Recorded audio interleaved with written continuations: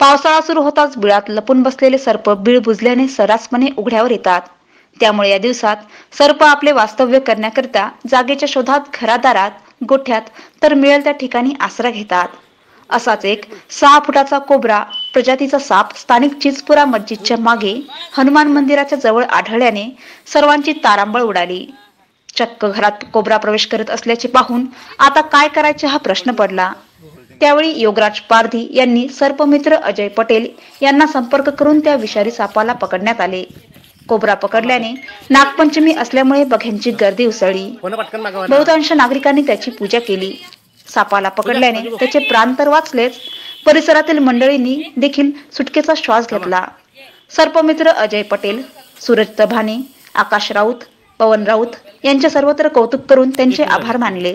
नंतर या विषारी कोबऱ्याला जंगली भागात नेऊन सोडण्यात आले. नीचे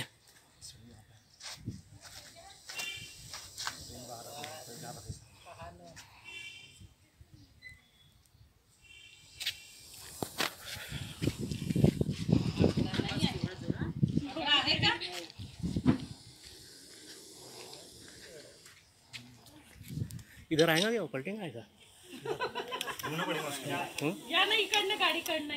हम्म, ह्या यायचा चेहरा आणि सापाचा चेहरा एक आला पाहिजे. साहब साप? मेरे तरफ़ पुन्हा? किनकी तरफ़ तुम्हारी तरफ़ हा. यहाँ पे होना नाही नाही तसं नाही होणार. यहाँ पे तो हल्का पहा पहा होगा हो जाएगा हो जाएगा. हा? रुमाल रुमाल दिखा उसको.